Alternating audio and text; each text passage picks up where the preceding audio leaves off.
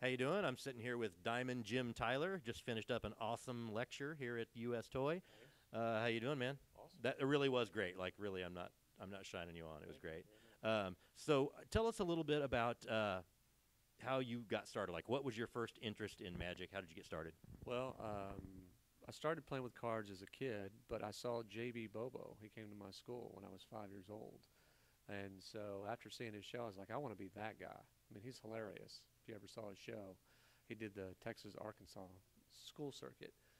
And then as a teenager, I found a magic shop and I bought everything they had. And the owner told me, you know, he said, you know, when you work here, you get a discount. And so I began working there to get the discount. And I worked there for seven years while I was in high school and college. And then I started doing, I actually did restaurant magic before I started working for the shop. And I did restaurant magic for 19 years straight, about eight shifts a week. And uh, yeah, so you're working 16 hours a week doing just magic nonstop. You know, you get good. You learn lines. You figure out what works, what doesn't work, what resets, what doesn't. You know. So So, uh, do you have you? I know we all know you do close up. You did a lot of close up, some stand up. I mean, do you have a favorite between close up, stand up, mentalism? I like to mix it up. Uh, I mean, mostly close up and stand up. Uh, I do a lot of corporate events and private parties, but um, yeah, some weeks I'm doing lots of birthday parties, and next week I'm doing trade shows and stand up things. So it's nice to be diverse, and that's why I think I'm able to stay busy, always working, because I have different shows for different groups and situations. Right. Um, so you're almost as old as me. Uh, probably, I'm like an old school guy, like books. books. to ask your age. So how much do you weigh? I I weigh I weigh, yeah, it doesn't matter. I weigh about hundred pounds roughly. Okay, that's about what Um, about what you saying.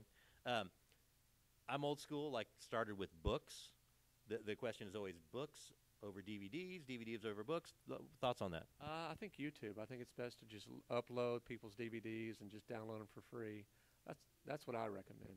So the, just find their material, copy it. just copy it. Every you know, uh, no, uh, I'm like you. I prefer books and DVDs. It's a nice visual art. The great thing about books, everyone, this has been said before, but you can, when you read a book, you put yourself in this situation. As how would I do this? But when you see it on YouTube or you see the video, you're more likely to emulate that performer. And I know emulate's a big word. You should never use a big word when you can use a diminutive one. Um, that's the point I wanted to make. So.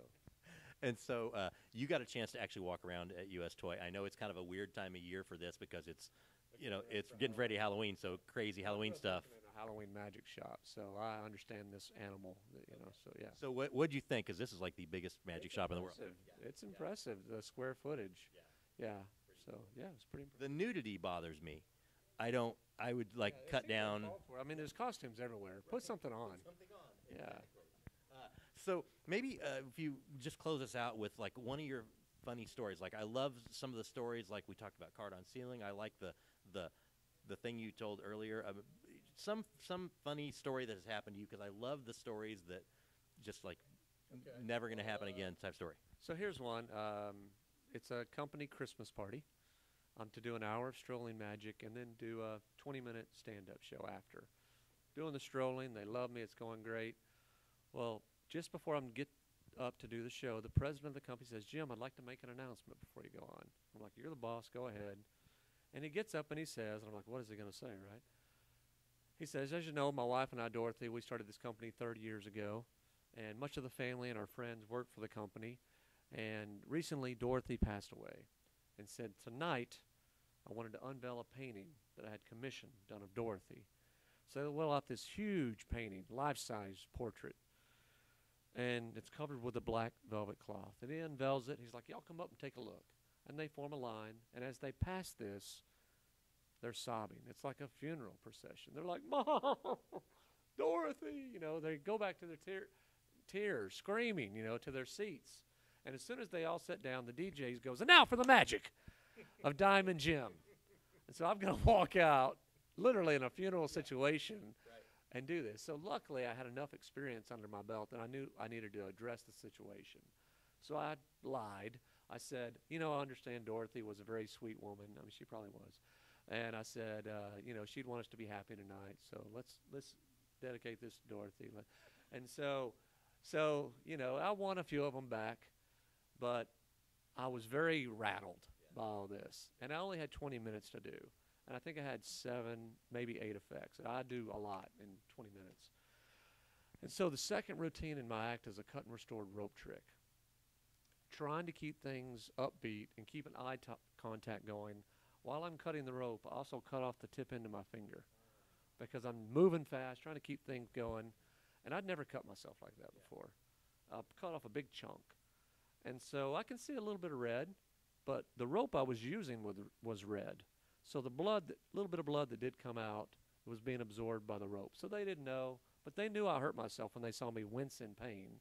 You cut part of your finger off, you're going to make a face. And so, anyway, I continued doing the routine. The show must go on. And as soon as I put the rope trick away to grab my cards, it starts spraying. Psst, blood spraying all over. And the audience is eating their dessert at this moment. And they're like, and so I'm like, so I'm just, I'm freaking out. I have a white jacket on. I don't know how to get blood on it, but I didn't. And so blood is gushing out of my hand. I'm trying to do a card trick now. And blood's just running and dripping. And the DJ noticed this. And luckily, he noticed it as soon as I cut my finger. And so he went and grabbed some bandages, some band aids. And as soon as he, I finished the card trick, he tapped me on the shoulder. I turned around. He handed me some bandages. I wrapped up my finger super tight, and I finished the show. And after the show, the lady said that hired me, she goes, I can't believe you kept going. And she gave me a big tip that night. So you want to get a big tip, lop off your finger. And uh, yeah. That's actually very sound advice. I, I, I like that. I appreciate it. Well, that's it. DJ, you are the man. Great lecture. very much. All right, man.